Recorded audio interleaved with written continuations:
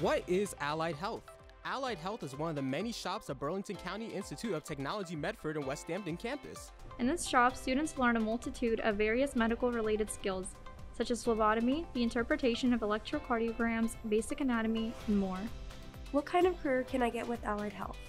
With the Allied Health Career Major, students receive a patient care technician certification and a certified clinical medical assistant license. Among the different types of specializations, a few include occupational therapy, dermatology, urgent care facilities, and other types of medical offices. Will I get paid well if I choose a career in allied health? Patient care technicians make an average of $15 to $20 an hour, while a certified clinical medical assistant makes an average of $13 to $19 per hour. Salary wise, that is around $40,000 a year.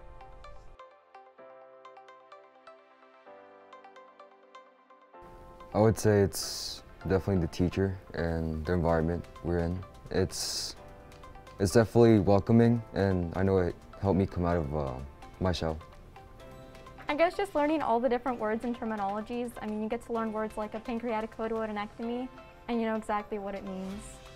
The bonds you get to make, and you feel like a family um, because you spend a lot of time with the people here, and I like all the hands-on activities that you get to do. Not like Grey's Anatomy, it's not like the movies. You do get a lot of work, a lot of pressure, and you have to endure it. A lot of people think that this is generally a female-orientated shop, but it's also for males. I would say how interactive it can be. It's it's not as much as learning as it is like hands-on or like fun activities.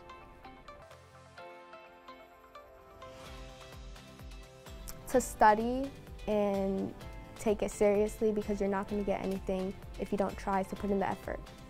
It's really easy to feel down about yourself when you fail at something, but you have to keep going through it and following the hardships.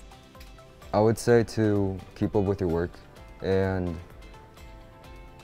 just to not not take it too seriously, even though it's a challenging class.